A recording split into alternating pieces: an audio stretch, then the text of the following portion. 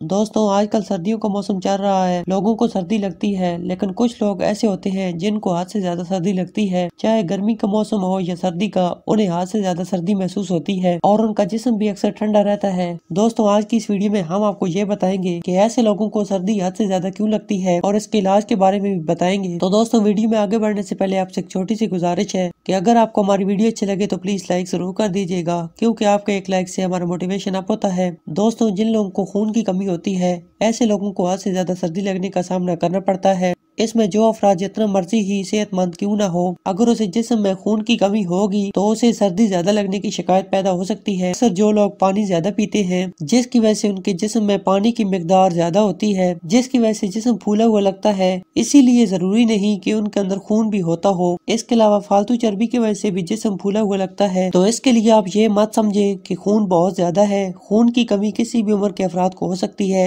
चाहे बच्चे, बड़े या बूढ़े हों। दोस्तों, जब आपके जिसम में खून की कमी होगी, सिर्फ़ हड्डियाँ होंगी तो खून की कमी होगी रेड ब्लड सेल्स की कमी होगी। ऐसे लोगों को सर्दी लगना एक अहम बात है। दोस्तों, अब हम आपको इसके इलाज के बारे में बताएँगे। दोस्तों, इसके लिए आपने गाजर का जूस इस्तेमाल करना है। इसके इस्तेमाल करने से आपके जिसम में नया और ताज़ा खून पैदा होगा। इसके अलावा आप चुकंदर का इस्तेमाल भी कर सकते हैं। चुकंदर भी खून पैदा करने के लिए एक मुफीद चीज़ है। इसके अलावा आप स्ट्रॉबेरी या स्ट्रॉबेरी का जूस इस्तेमाल कर सकते हैं। ये भी नया और ताज़ा खून पैदा करने के लिए बहुत ही अहम चीज़ है। दोस्तों, इसके अलावा जब आप रात को दूध पीते हैं तो इसमें शहद इस्तेमाल करके पिया करें। इससे आपको बहुत फ़ायदा होगा। खून की कमी की सूरत में चिड़चिड़ापन पैदा होता है। ऐसे लोग शहद का इस्तेमाल करें। इसके अलावा आपने रोज़ाना एक से दो हज़ार अखरोट इस्तेमाल करना है। इसके इस्तेमाल से भी सर्दी लगना बंद हो जाएगी। दोस्तों, आप इन सब चीज़ों का इस्तेमाल करके सर्दी लगने जैसे मसाइल से निजात हासिल कर सकते हैं। तो आज के लिए इतना ही दोस्तों। वीडियो अच्छी लगे तो प्लीज़ लाइक ज़रूर करें और हमारे चैनल को भी सब्सक्राइब करें। शुक्रिया।